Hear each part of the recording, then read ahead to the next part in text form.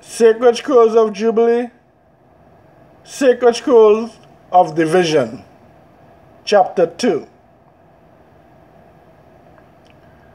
And the messenger of the presence spoke to Moshe according to the word of Yahweh Elohim, saying, Write the complete history of the creation.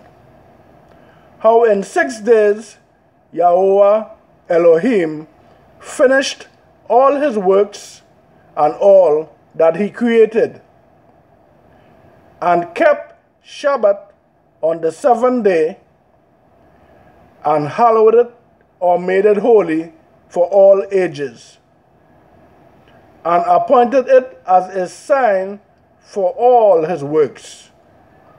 For on the first day he created the firmament, which are above, and the earth, and the waters, and all the spirits which serve before him. The angels or messengers of the presence, and the angels or messengers of sanctification, and the angels slash messengers of the spirit of fire, and the angels or messengers of the spirit of the wind, and the angels or messengers of the spirit of the clouds, and of darkness, and of snow, and of hail, and of hoarfrost, and the angels or messengers of the voices, and of the thunder, and of the lightning, and the angels or messengers of the spirits of cold and of heat, and of winter, and of spring, and of autumn, and of summer, and of all the spirits of his creatures which are in the firmament and on the earth.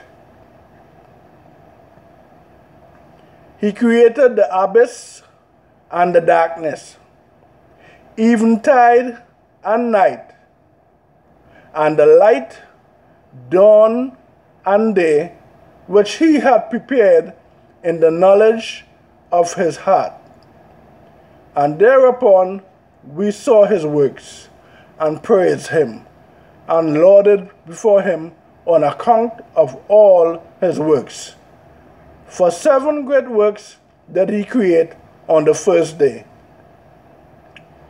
And on the second day, he created the firmament in the midst of the waters, and the waters were divided on that day. Half of them went up above, and half of them went down below the firmament. That was in the midst over the face of the entire earth. And this was the only work Yahweh Elohim created on the second day. And on the third day, he commanded the waters to pass from off the face of the entire earth into one place, and the dry land to appear. And the waters did so as he commanded them, and they retired from off the face of the earth into one place outside of this firmament. And the dry land appeared, and on that day he created for them all the seas according to their separate gathering places, and all the rivers and the gatherings of the waters in the mountains and on all the earth, and all the lakes, and all the dew of the earth, and the seed which is sown and all sprouting things, and fruit bearing trees, and trees of the wood, and the garden of life, also known as the Garden of Eden. In Eden, in the Garden of Life and all, these four great works Yahweh Elohim created on the third day. And on the fourth day, he created the sun and the moon and the stars and set them in the firmament of the heaven to give light upon all the earth and to rule over the day and the night, and divide the light from the darkness. And Yahweh Elohim appointed the sun to be a great sign on the earth for days, and for Shabbats, and for months, and for feasts, and for years, and for Shabbats of years, and for jubilees, and for all seasons of the years. And it divided the light from the darkness, and for prosperity, that all things may prosper which shoot and grow on the earth. These three things he made on the fourth day. And on the fifth day, he created great sea monsters in the depths of the waters. For these were the first things of flesh that were created by his hands. The fish and everything that moves in the waters and everything that flies, the birds and all their kind. And the sun rose above them to prosper and above everything that was on the earth, everything that shoots out of the earth, and all fruit bearing trees and all flesh. These three kinds he created on the fifth day, and on the sixth day he created all the animals of the earth, and all cattle, and everything that moves on the earth. And after all this, he created man. A man and a woman created he them and gave him dominion over all that is upon the earth and in the seas, and over everything that flies, and over beasts, and over cattle, and over everything that moves on the earth, and over the entire earth.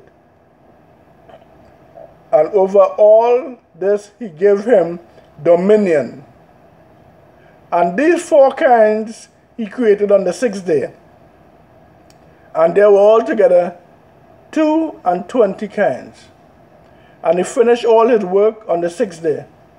All that is in the heavens and on the earth, and in the seas, and in the, and in the abyss, and in the light, and in the darkness, and in everything. And he gave us a great sign, the Shabbat day, that we should work six days, but keep Shabbat on the seventh day from all work. And all the angels or messengers of the present, and all the angels or messengers of sanctification, these two great classes, he had bidden us to keep the Shabbat with him in heaven and on earth. And he said unto us, Behold, I will separate unto myself a people from among all the peoples, and these shall keep the Shabbat day, and I will sanctify them unto myself as my people, and will bless them as I have sanctified the Shabbat day, and do sanctify it unto myself. Even so will I bless them, and they shall be my people, and I will be their Elohim. And I have chosen the seed of Jacob from among all that I have seen, and have written him down as my firstborn son, and have sanctified him unto myself forever and ever. And I will teach them the Shabbat day, that they may keep Shabbat thereon from all work. And thus he created therein a sign in accordance with which they should keep Shabbat with us on the seventh day, to eat and to drink and to bless him who has created all things as he has, has blessed and sanctified unto himself a peculiar people above all peoples, and, they, and that they shall keep Shabbat together with us. And he caused his commands to ascend as a sweet savor acceptable before him all the days.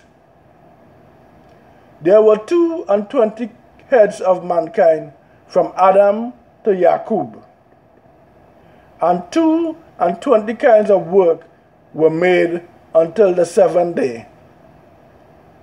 This is blessed and holy, and the former also is blessed and holy. And this one serves with that one for sanctification and blessings. And to this Jacob and his seed, it was granted that they should always be the blessed and holy ones of the first testimony and law, even as he had sanctified and blessed the Sabbath day on the seventh day, he created the firmament and the earth and everything that he created in six days. And Yahweh Elohim made the seventh day holy for all his works. Therefore he commanded on its behalf that whosoever does any work thereon shall die, and that he who, who defiles it shall surely die. Wherefore do thou command the children of Israel to observe this day, that they may keep it holy, and not do thereon any work, and not to defile it, as it is holier than all other days. And whoever profanes or blasphemes it shall surely die, and whoever does thereon any work shall surely die eternally, that the children of Israel may observe this day throughout this throughout their generations, and not be rooted out of the land. For it is a holy day. Holy means separate. It is a separate day, a holy day, and a blessed day. And everyone who observes it and keeps Shabbat thereon from all his work will be holy and blessed throughout all days like unto us. Declare and say to the children of Israel, that's us, the law of this day, both that they should keep, and say to the children of Israel, the law of this day, both that they should keep Shabbat thereon. So it is the law that we should keep the Shabbat thereon, and that they should not forsake it in the error of their hearts, or their minds, or their soul, and that it is not lawful to do any work thereon which is unseemingly, to do therein thereon their own pleasure, and that they should not prepare thereon anything to be eaten or drunk, and that it is not lawful to draw water, or bring in or take out thereon through their gates any burden, which they had not prepared for themselves on the sixth day in their dwellings. And they shall not bring in nor take out from house to house on that day, for that day is more holy and blessed than any Jubilee day of the Jubilees.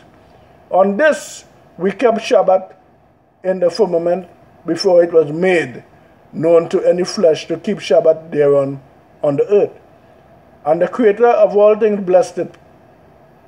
But he did not sanctify all peoples, and he did not sanctify all nations to keep Shabbat thereon but Israel alone. That's us who are in captivity scattered throughout the earth. Us in Trinidad and Tobago, Jamaica, Dominica, Barbados, Guyana, Brazil, Haiti, Puerto Rico, wherever we are, it has been permitted that the Creator passed a law for us to keep the Shabbat. And the Creator of all things blessed this day, which He had created for blessings and holiness and glory above all days. This law and testimony was given to the children of Israel as a law forever and ever unto their generations. Hallelujah.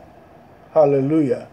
Here ended the reading of the Sacred Scrolls of Jubilee, Scroll of Division, chapter 2.